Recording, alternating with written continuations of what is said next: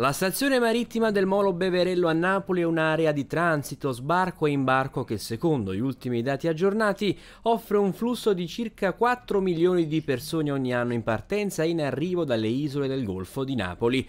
Uno scalo che è stato oggetto di una profonda riqualificazione ampia e moderna con una copertura esterna sul tetto che funziona anche da passeggiata. Accompagnato dal governatore della regione Campania Vincenzo De Luca, dal sindaco di Napoli Gaetano Manfridi e dai vertici dell'autorità autorità di sistema portuale, il ministro dei trasporti e vice premier Matteo Salvini ha fatto tappa alla stazione marittima per verificare da vicino la riqualificazione in vista della prossima apertura ai viaggiatori. Nuovo molo con bar, con servizi igienici, col collegamento diretto con la metropolitana, con l'aria condizionata, con la copertura e quindi vuol dire ancora più turismo e quindi vuol dire ancora più lavoro per Napoli.